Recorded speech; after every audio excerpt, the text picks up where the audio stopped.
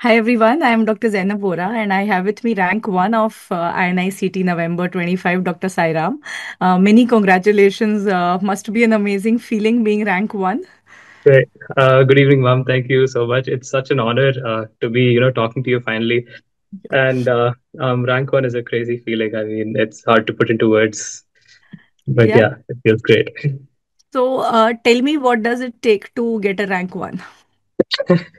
I mean, um, uh, you put it uh, into words best, ma'am. But uh, I mean, the key is consistency. It is discipline, and um, I mean, it's really a culmination of everything from MBBS, your internship, and then your preparation. I feel like all of that comes together to give you a good rank.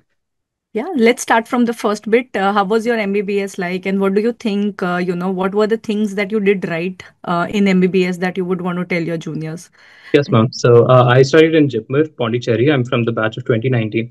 So I do believe my college is uh, very strict when it came to academics. So the pressure was on us to, you know, be thorough with our textbooks. And, uh, you know, it wasn't a fun feeling, but I mean, it did pay off in the end. Yeah. Uh, so- but um, I would say one thing that really changed uh, things for me would be during the pandemic, which I mean, uh, the thing is, I had so much time to read my textbooks since I was stuck at home with uh, not Yeah. much to do. So um, I would say my basic subjects from first and second year were really, really good. And I think that translated into a good rank in I, which really focuses on these pre and paraclinical subjects.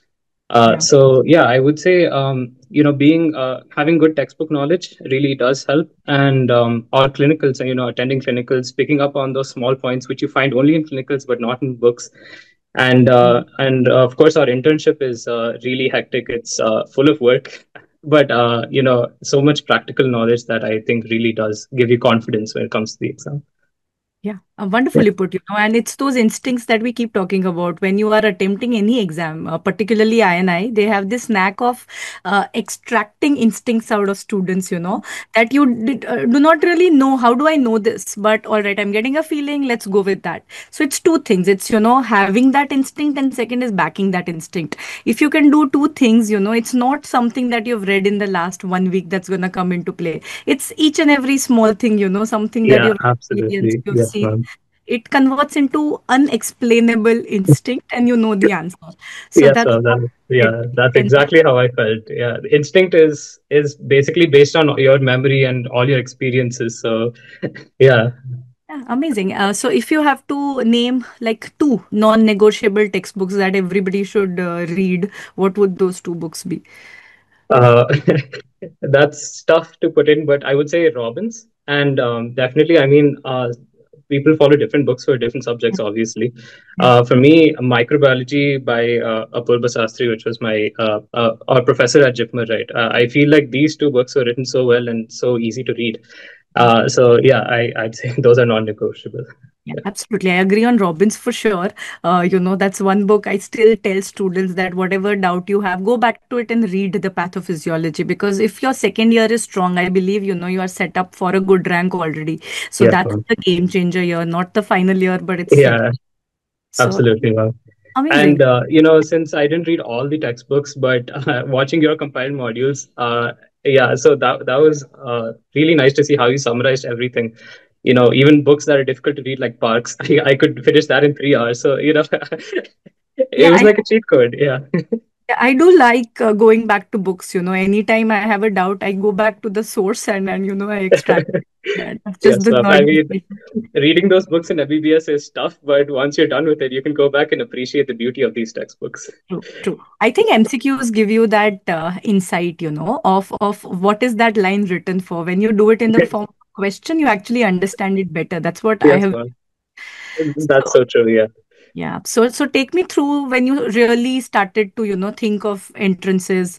If if you did at any point, you know, that Yeah. or to prepare for a NEET, I have to prepare for INI. So when is it that you really started, and what source did you pick up, and how did you, uh, you know, assimilate? Yes, ma'am. So I, I mean, I would say I'm a late bloomer of sorts because I mean, I look at all these topper interviews and they started from final year or before that, but I started after internship. And so, uh, yeah, so because my internship was uh, pretty much hectic, I didn't really have the time to start. Yeah. So uh, my zeroth attempt uh, during internship, uh, I I got like 2.8k rank with uh, minimal preparation. So after my internship was done, once I'd come home, I, you know, sat down. I, I decided these are going to be my sources, and this is what I'm going to read. And um, uh, what's surprising is I did not know about BTR after my internship. So for some reason, I have never heard of this term. I uh, and I only knew about it when my friend introduced it to me. He was following BTR, and he told me there's this program in Chennai. Mom's going to be there for four days. She's going to cover BTR and he invited me. I'm like all right sure let's give it a sh- shot. And that was my first you know tryst with you and your course. And i loved it so much. I loved uh, especially your mnemonics and the way you teach. It resonates with me so much because that's exactly how i set my own mnemonics so i'm like okay this is the perfect source for me to prepare from Amazing. So, so essentially, I believe your conceptual clarity was already there. Uh, with with those four days, you kind of got the syllabus together. You got to know, you know, that all right, these are the facts which we need to do, and then you found a way to remember those. yes ma'am Amazing. Uh, How were those four days? Was it uh, a little overwhelming uh, seeing other people around you ki- kind oh of yeah BTR? So I think there was like 1500 people in that auditorium, and uh, I was really, I mean, it was scary. I mean, seeing all these people, you don't really know what the competition's like unless you see all these uh, faces. Yeah. and uh, I thought uh, the doing nine hours a day for four days, I mean, it's obviously tiring for you, but as students, I thought it'd be tired. Uh, I mean, I thought it'd be tough because I'd never done BTR before. Um, but I do love listening to classes, so I found it pretty easy actually to sit through those nine hours and uh, do BTR with you. That was that was an amazing feeling. Interesting, you know. So you did not do BTR, you came for four days and you got introduced to it. So, so um, how how was your NEET and uh, I and I attempt like? Yeah, so after that, uh, I hadn't done the online BTR yet, and I gave my me and I and I got 698. Hmm. And that wasn't enough uh, for me to get the branch that I wanted. Hmm. And uh, NEET went uh, actually really bad, actually, compared to, you know, the standards I set for myself. My NEET rank was 3.7K. Hmm. Uh, right. And after NEET uh, was when I actually started BTR, the TND courses. Because my friend who had done BTR, only BTR and PYQs, his rank was 22 in NEET. And that's when I knew that, you know, just doing just BTR can really get you this far. And that was the one thing I was missing in my preparation. Amazing. So uh, that was when I started the BTR course. Well, Amazing. So, so you used, you were saying you used the test and discussion. yeah. Um, did you go through the videos as well? I, I believe, uh, Yeah. did, yeah. I, I, I went through every test and discussion, every video. Uh, some for some of them I was there live, and some of them I watched recorded. Uh, I did every video. Yeah. Amazing. So if you have to now, you know, look back at your May May I and NEET attempt and and versus this attempt, what do you think uh, really changed? I mean, it is BTR. I, I, I don't looking No, back. I no, mean, and you uh, don't have yeah. to say that, but but in your own self, you know, uh, what do you think was the difference? Yes, sir. I know. I, I mean, I don't feel compelled to say it is not BTR because uh, I know that the one major change I made was obviously BTR. But apart from that, I mean, after NEET went bad, uh, you know, it I was pretty disappointed with myself. I decided I needed to be needed to show up every day, be more consistent. I started tracking my study hours. Yeah, And uh, you know, I, I really set a routine for myself. I established discipline. As a, you know, a chronic procrastinator, that doesn't come naturally. It requires a lot of effort. Uh, but yeah, I, I definitely put in the hours. So something did change after yeah. NEET. That's Okay. well. So let's go back to your uh, 9th of November. You're sitting in front of your computer screen 30 minutes prior. Tell me what is going through your mind. Uh, yeah, so I mean, obviously there was a lot of nervousness because this is my third attempt and I really needed to crack it this time. I set pressure upon myself. But I did watch your Mega INI BTR the two days before. I watched your Ashirwad class and I just kept that in mind. And um, I have a knack for changing answers quite a bit and getting them wrong. So I remembered that, you know, if I have to change an answer, I have to convince you that I have to change this answer. Uh, so yeah, I was thinking about that, but I also had a little confidence in myself. I had a gut feeling yeah, that you know this is going to be my exam. I'm I'm going to do well. So I you know did a little deep breathing and calmed myself before uh, starting the test. Yeah. And once you know I I did 10 15 questions, I'm like, okay, this is going great. Let's see where this goes. Amazing. So when you exited the hall, did you ever guess it would be rank one?